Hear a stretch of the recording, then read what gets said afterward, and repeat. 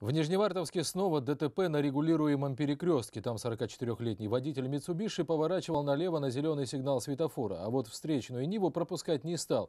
В результате пострадала 66-летняя пассажирка Ниве.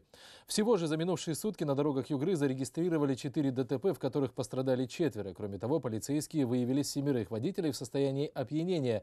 От экспертизы отказались еще четверо. За встречку привлекли 51 человека. Правилами перевозки детей пренебрегли 20 29.